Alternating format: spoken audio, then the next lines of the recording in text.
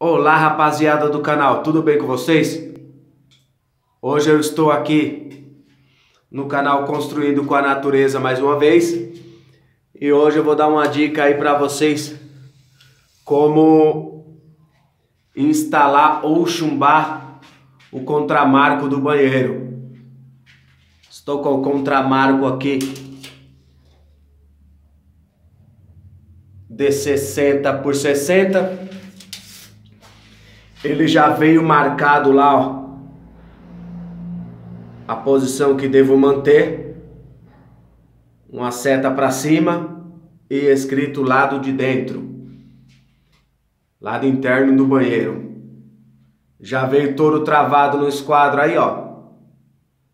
Tenho três travas aí no esquadro. Esse contramarco ele tem dois centímetros e meio. É, a dica de hoje vai ajudar você, facilitar o seu serviço aí. Como ele é muito estreito, 2 centímetros e meio, a cantoneira de alumínio, e você ainda tem que deixar o espaço do revestimento, né? Quer dizer, ele vai apoiar aí mais ou menos um centímetro no máximo. Então quer dizer, fica difícil de você prender ele, né? Como ainda é de alumínio e só arrebitado, ó, então ele é bem frágil. Então tem que ter alguns macetes. Como que eu faço? Pego um madeirite aí, ó, mais ou menos já na espessura do revestimento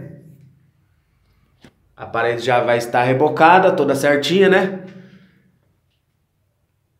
Eu aprego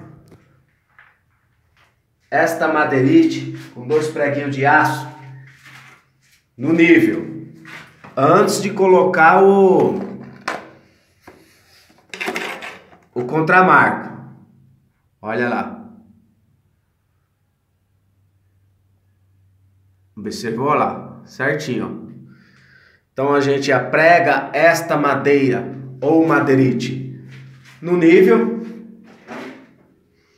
considerando já uma altura para o contramarco ficar localizado, né? E você aprega no nível. Depois você só encosta o contramarco em cima da madeira. Olha lá. Põe duas cunhas em cima, né? Travar, pressionar para baixo. Coisa bem sensível, não precisa ser muito forte não, viu gente? Para não entortar. E depois chumba aí pela lateral, olha. Chumbou. Fica praticamente pronto. Vou mostrar para vocês pelo lado de fora lá. Beleza? Vamos juntos. Então, pelo lado de fora ela fica desta forma aí, ó. O madeirite está calçando nessa posição aqui, ó. Então, como ficou um pouco de distância entre a alvenaria e o contramarco, eu coloquei massa entrando no no vinco do perfil para chumbar ele, né? Que aqui é oca aqui dentro, né? Aqui, esse perfil aqui tem essa altura para você colocar massa. Então eu peguei a colher e fui colocando massa aí. De baixo para cima até ficar cheio desta forma aí, a altura lá. E aqui eu fui escorando a massinha também, tá? Deste lado Esquerdo também. É, depois ali, em cima, na hora de requadrar, é só dar a massinha ali, ó. Deixando aí um meio centímetro aqui, ó. Um meio centímetro, certo? Porque depois o vidro vai vir nessa posição e vai apoiar aqui, né?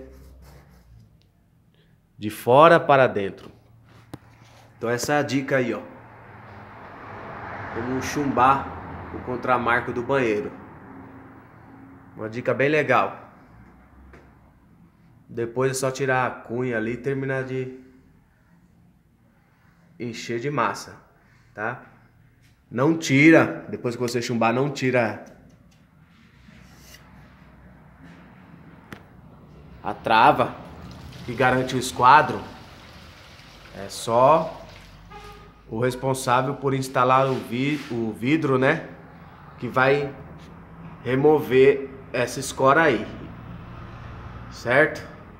Vou voltar na parte de dentro com vocês para encerrar o vídeo aí. Bem, meus amigos, essa foi mais uma dica aí do canal Construindo com a Natureza.